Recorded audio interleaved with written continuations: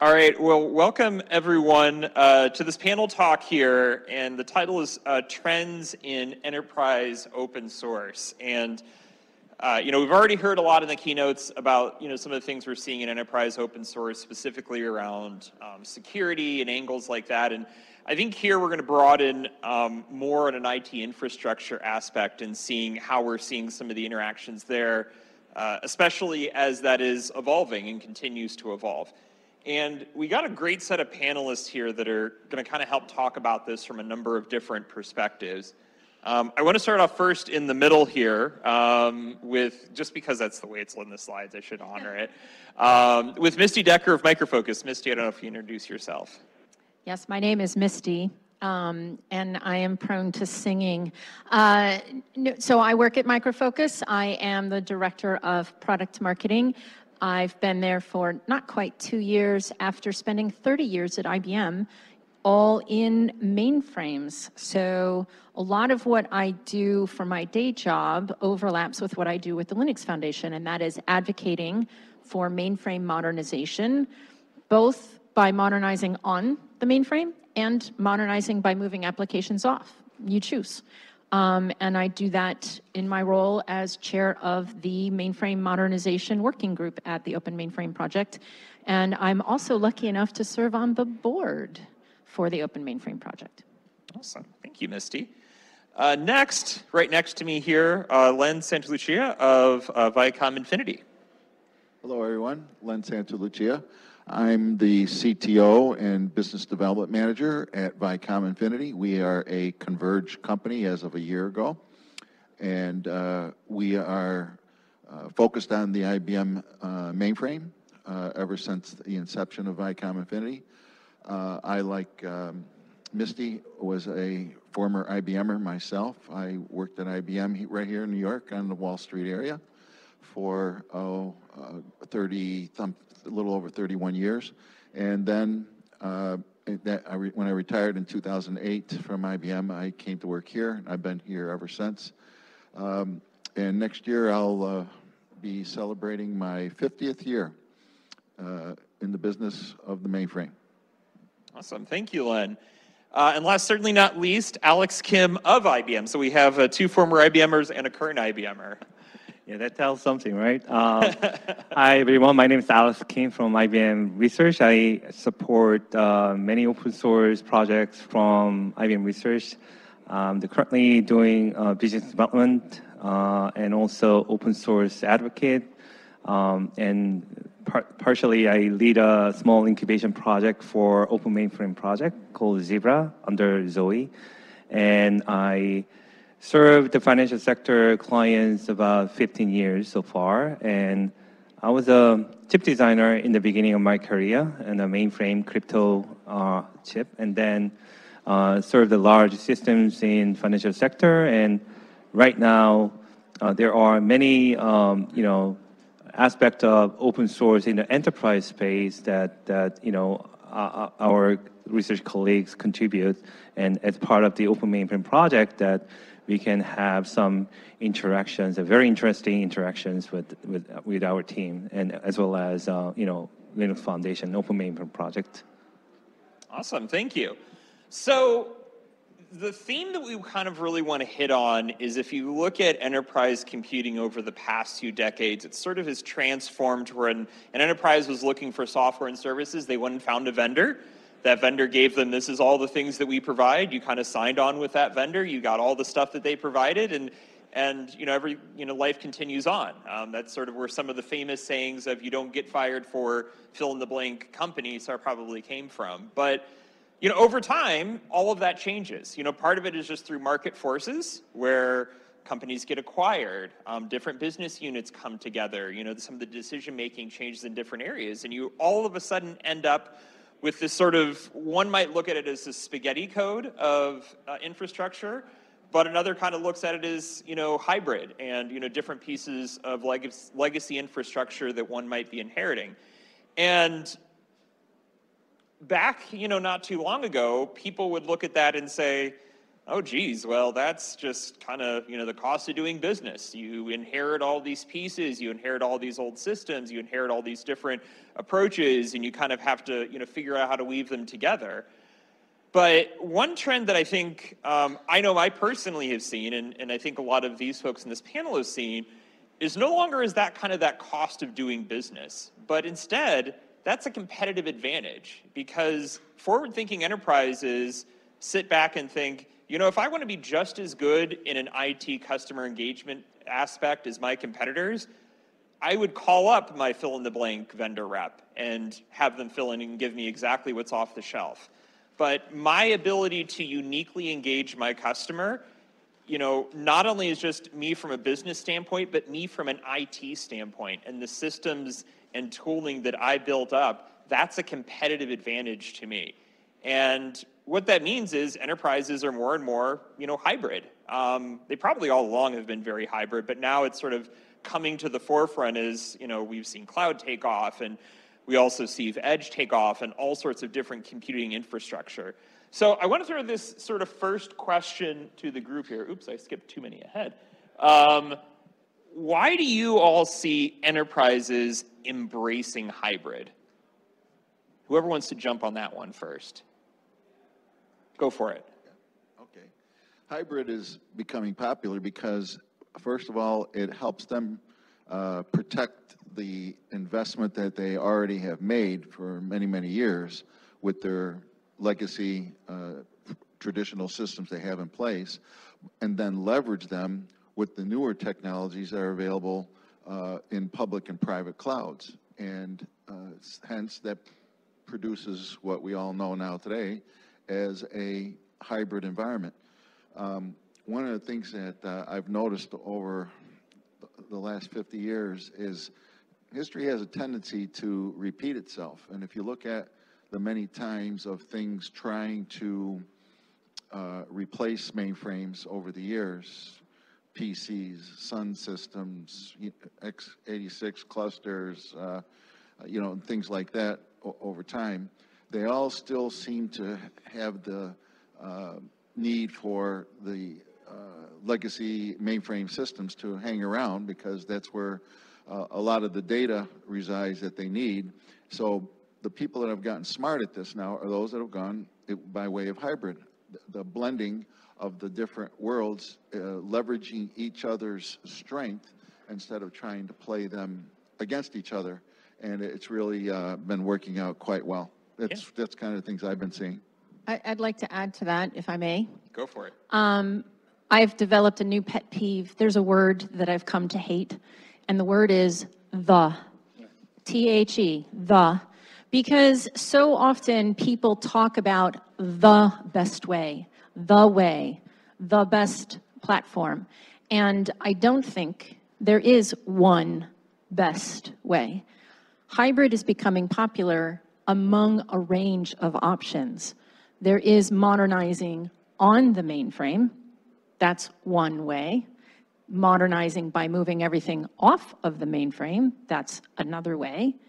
And there's also modernizing by having a hybrid approach. Um, so I struggle with this implication when people say the, that there's only one way. Uh, and a lot of what I've been trying to advocate for is step back away from that innate desire to find the best, because there isn't the best. We don't need to have that philosophical debate about is it the mainframe or is it cloud or is it hybrid. It's irrelevant. the debate is what's best for that application, what is best for that business. It also, it also helps that the hybrid does not roll very well off the tongue. So go ahead, Alex. I, I think Misty had a great point uh, where putting things where it makes sense, where it does the best, right? Um, I use the now, but yeah, a different, different aspect, right? So everybody in financial sector here probably, you know, been living in uh, multi-vendor, multi-solutions, not only one vendor, right? You always have a backup plan. You're, you're the kind of smartest, you know, uh, tech industry people, and you know how to do that very well. And be, even before the, the word hybrid cloud or hybrid computing came on, on board, they knew what to do with the multi-vendor, you know, um, solutions. And hybrid is just format of those infrastructure being in the right place, I think, and take advantage of the, the uh, you know, being ag- agile and being, you know, taking advantage of, you know, putting the best solution out there. And such as like, you know, using the right APIs for your banking solutions and exchanging the data with other partners, you always come to the right place to choose right solution. And with this modern, you know, uh, computing world, we always have, uh, you know, you know, best platform to put the right workload. And, and I think that's where, you know, this large system can actually play a big role that they can become the core for the data-centric, um, you know, uh, repository and other, you know, places can make more sense to put other, you know, upfront transactions services too.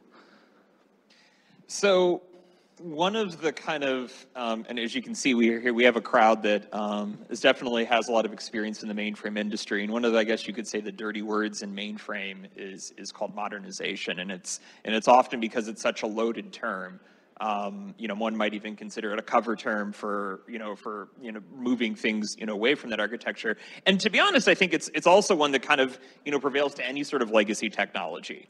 You know, let's move away from, you know, this data center we maintain to a cloud. You know, let's main, move away from, um, you know, what we might have been doing f- before computing to maybe edge computing. Um, you know, let's move away from, you know, a Windows-based system to Linux, all those things. Modernization kind of has always had that sort of veil of rip and replace, but that's not really necessarily the case. Um, and Misty, I think you'd mentioned modernization as a My big passion of, of yours. I, I- know I've hit a nerve there, so Yeah. start talking. Modernization is my favorite word. Um, so uh, if you talk to a mainframe company like IBM, they'll use modernization to mean updating in place on your mainframe. And let's say you're changing your development process to DevOps on the mainframe. If you talk to a non-mainframe company, a company that's not making money in the mainframe, like a cloud vendor, they use that term to mean moving off the mainframe. And I did a Google search and I found fully 50% of the articles assume you understand that modernization means in place, and 50% of the articles assume that you know modernization means moving off. Um, that's a lot of confusion. So I am on a mission to redefine that word uh, across the industry. So I'm building a coalition of these very different points of view, bringing everybody to the table through the Open Mainframe Project, a brand new working group called the Modernization Working Group. And we're going to create a single definition that's agreed to across the industry. And it will probably be an outcomes-oriented definition instead of a technology-oriented definition. Because that word modernization, when you apply it to technology, kind of implies new, right? New, modern technology. But what really matters is that you're meeting the modern needs of the business. So we're going to define modernization in terms of outcomes, and we're going to build a repository of thought leadership materials contributed by this wide range of vendors. So side by side, you will have a white paper that says why you need to do your DevOps off of the mainframe, and you will have a white paper that says why you need to do your DevOps on the mainframe. And you can read both side by side and make your own conclusion, completely agnostic. Um, and, and the reason I'm so passionate about it, I, I love this mainframe. The war has bothered me my whole career. The war, you know what I'm talking about, right? The war. Mainframe versus everything else. That mainframe team in your organizations, I see some head nods. They're very insular and they just hold on to everything as tight as they possibly can. And then every other part of the company either ignores that mainframe team and ignores those mainframe assets. It's fine, we're just going to ignore it. We're going to do all the innovation over here. Or they're actively attacking them, trying to get rid of them, right? Um, we have, and, and the reason I love my new company um, is because we do all of that modernization. We don't pick a side. And we have a brand new customer case study where uh, AG Insurance did modernization in a way that acknowledged the mainframe people and the non-mainframe people and drove a cultural transformation through the technology transformation. Uh, so that's what I'm hoping. I know, small goals. I'm going to stop a war and I'm going to bring very different vendors all together to the table into one big happy family. But that is that is what we're trying to do. Seems seems almost too simple, right? Um, I don't know if you either have Yeah. anything to add briefly, quick to that. So I'll, I'll, I'll just make it quick. So I, I know Misty is very passionate about modernization. So uh, I, I, I can understand. So uh, the question, you know, what does it mean, right? I think modernization is something that you want to sustain. It's about sustainability. You know, how, how do you maintain your software, you know, for 10, 20, 30 more years, right? all, all the software that written for Microsoft Windows 3.0 like 30 years ago, it's not running the same way today. They have been modified, modernized, and different languages, different platforms. Same thing. Same thing goes to every platform and every industry sectors, right? You want to make it more sustainable and you want to make it more innovative. So choosing right platform that support from hardware to all the software stack to innovate and then sustainable, I think that's the modernization. Yeah. Um, so I know you all came to an open source conference and we've, we've kind of went a big uh, detour here in the mainframe, but I want to kind of pull back a little bit and say, okay, well, how does open source fit into all of this? And what we see is, is it's that connective thread. And if you think about it in any technology that's out there, um, open source has been that connective thread and it pulls so much together. And I want to kind of throw that at you, Len, because we didn't get to you on the last question here. Um, you know, you've seen it as you're working with your customers. Um, tell us about how you're seeing open source become that connective thread. Well, you know, when you're dealing with enterprise customers that, that are heavily oriented towards the, the mainframe, open source, not too long ago, was kind of a dirty word, you know? And now, what we're seeing is that open source is actually something that uh, connects them to a lot of different things that they never would have thought of connecting with before, uh, especially in and around this topic of, of modernization. And, uh, you know, when we were acquired by this Converge company, we were uh, acqui- uh, acquisition number 21, I think, at, in October of last year, so a year ago. Now, uh, there are over 35 companies that have been acquired as of this October. And what this has done is that the, we are their, we are Converge's mainframe practice because we are a mainframe company, but being associated with all these other companies, we now are finding that we can bring this tech, these uh, insights from all these different things uh, in and around open source and other things uh, that never were thought of before. And now these, we're actually ending up being kind of the glue to bring it back to this, what really modernization should be, as Misty defined it very well, as, as well as what we were talking about before with hybrid.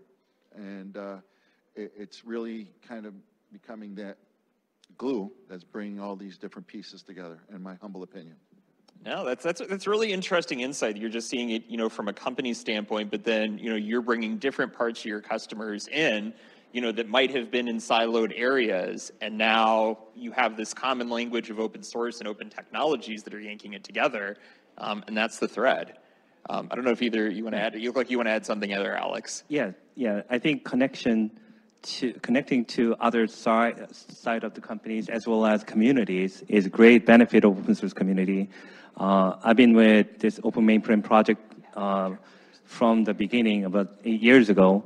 Uh, throughout the time, there were very interesting points of uh, uh, life going through these commu- uh, communities, starting with a very small team of, let's say 20 people. Now, if you go to our Slack channel, over you know a few thousand people, and as you probably heard over you know in the beginning of pandemic, you know uh, New Jersey governor said you know cobalt, right? It's a it's a meaning you know COBOL. Uh, programmers are needed for supporting those you know the programs that the New Jersey state government wanted.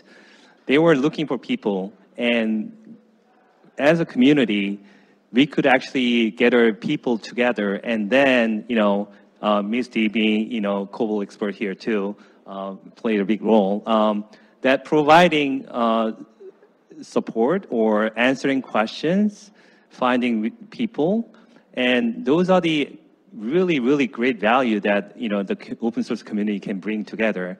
In our open mainframe project, uh, you know, there are many different generations from even middle school uh, kids to high school, college kids, and then there are people who've been in industry for over 50 years, that who still maintain the software they wrote 50 years ago.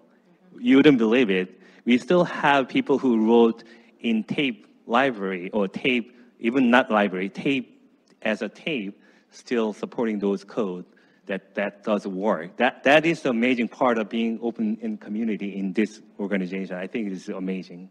Yeah. I, I have a fun party trick for all of you. Well, it's not a party trick. It's a fun thing to do at work. Um, go find, you're all here because you're fans of open source. Obviously, I'm just going to assume that. Uh, go find your CTO, your open source teams, even go to your mainframe teams and say, did you know there's open source for the mainframe? And then watch their face. Yes. Yeah. Yes. It, it's, it'll be really fun. You'll just shock the heck out of them. Yeah, and, and it's, it's a great segue in here because a lot of those um, we're driving here. And if you look at some of these projects up here, you know, yes, we've had, you know, projects have been driven for, you know, more than 50 years. And it's the one interesting thing that if you go talk to your, your, you know, your folks who have been around for quite a while, the first thing that they'll say to you if you talk about any new technology, they'll say, oh, geez, we did that 30 years ago on the mainframe. Why are you like bringing this up?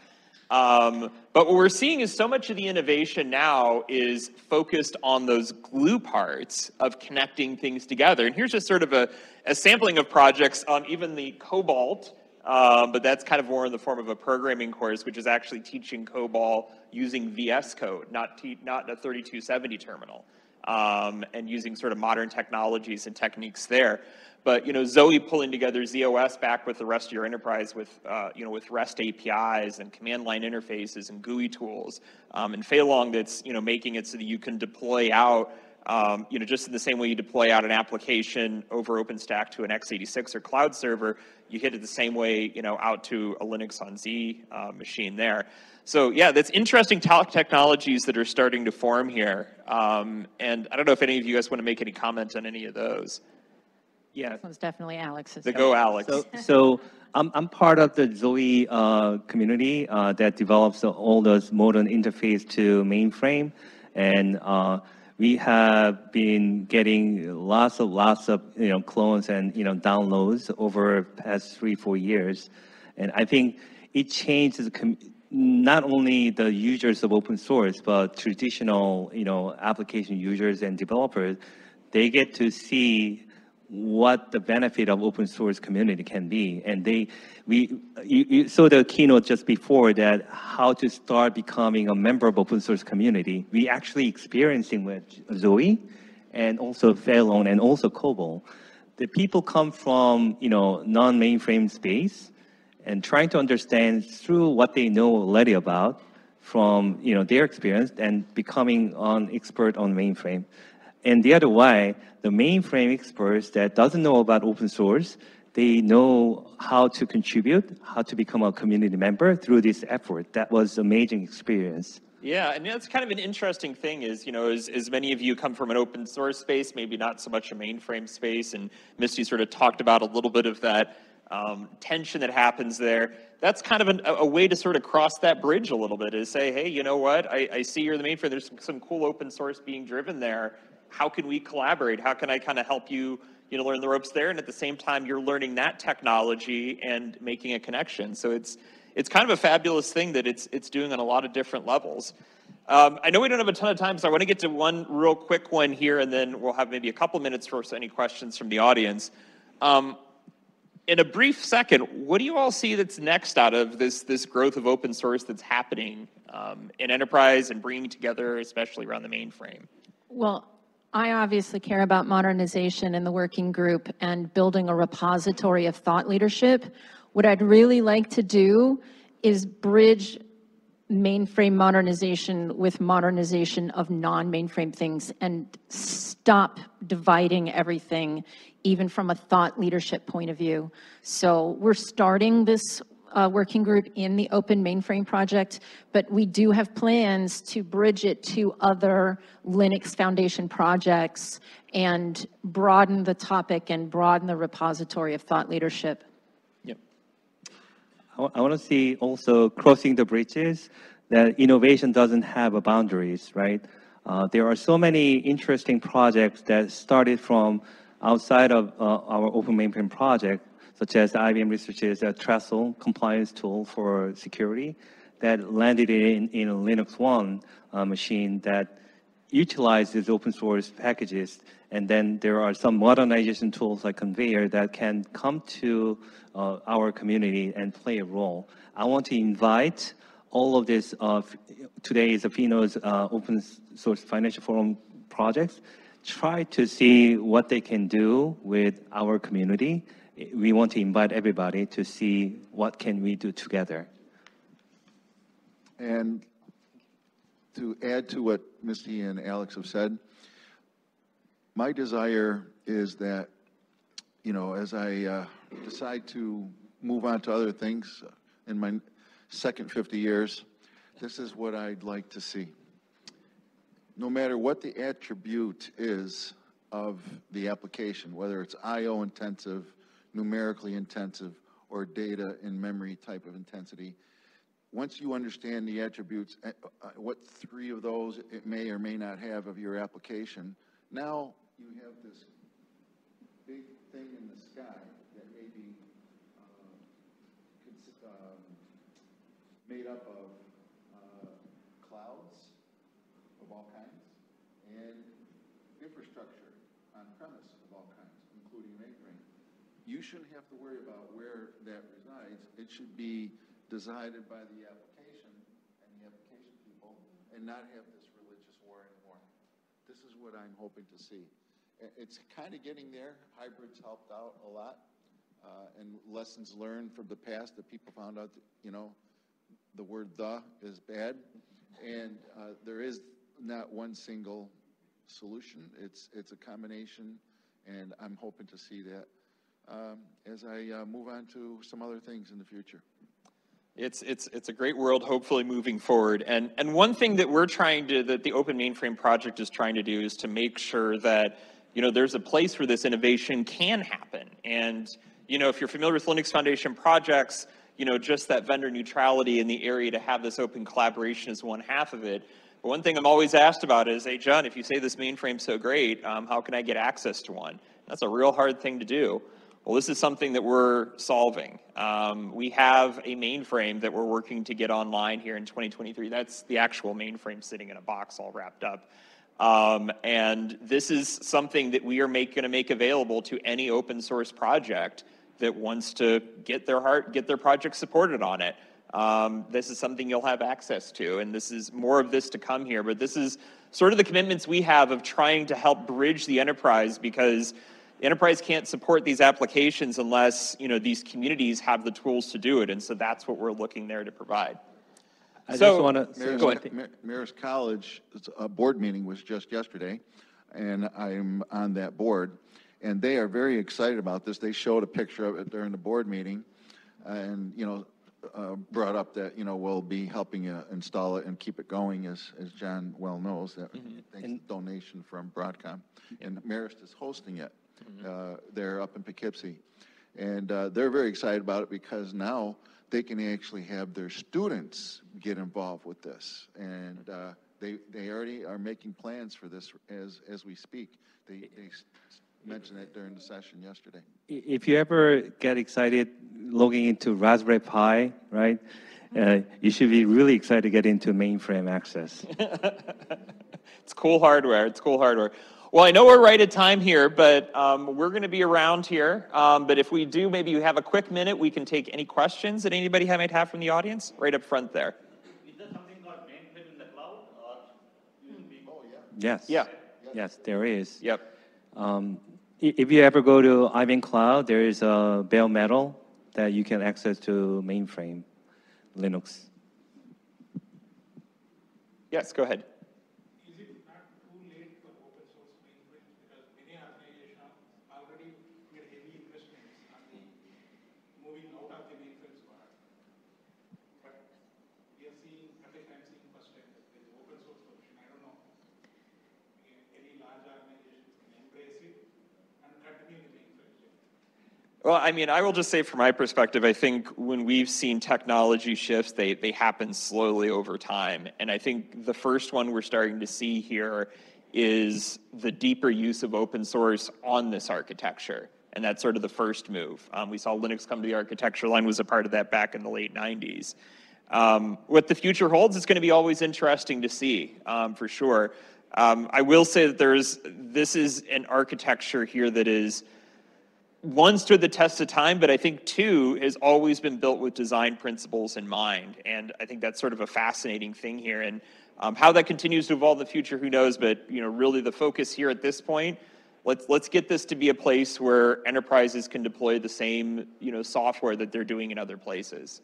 Um, and let's open this up so that other people can try this out, and it's not this sort of hidden thing at the back of a data center that nobody has any idea about or how to use. Let's get this in the hands of more people. Ravi, I want to um, challenge you and everyone else to th- re-look at how you think about the mainframe. Because I find that people conflate mainframe applications with the mainframe hardware. Those applications can run anywhere. I mean, that's, that's literally half of our business is taking those applications off the mainframe and running them in, in the cloud in AWS and Azure um, on x86.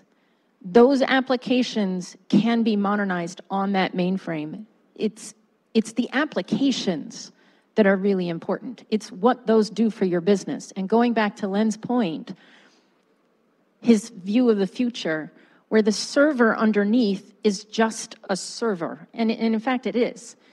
The only reason we keep thinking we have to get rid of the mainframe is because we've got issues with those applications. That's why modernization is so important to me.